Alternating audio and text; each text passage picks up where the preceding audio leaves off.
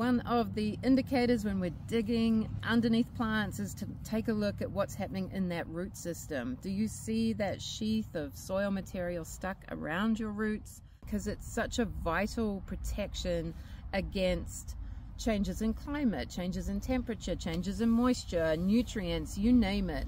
What we've found is that the pH in that um, rhizosheath can be as much as two units different. So you might have a, a soil pH of 9 or maybe a soil pH of 5, but the plant's still experiencing 7 because of this effect of having all this soil stuck to that root.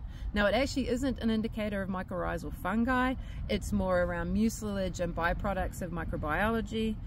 Uh, you can build these in any environments if you have high levels of ethylene, let's say you're in wet soils, then we see that that ethylene can actually disrupt that mucilage and root hair formation, and so you might not get a rhizosheath formation. So I want you to really be digging, be assessing this, and like with all the measures on Soil Mentor, this is not that you're uh, that you're wrong. It's certainly not that you're right.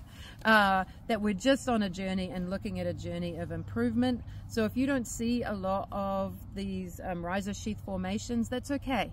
That's your starting place. Start to look for really, really healthy plants, dig them up, and what you'll often find is they will have those um, rhizosheaths on them. So enjoy.